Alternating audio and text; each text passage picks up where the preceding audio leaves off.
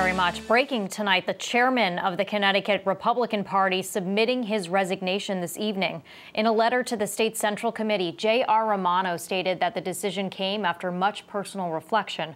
Romano saying that it was, quote, time for a new voice to be heard from the Connecticut Republicans. His resignation comes ahead of schedule. Romano had originally planned to stay on until his term was up in June.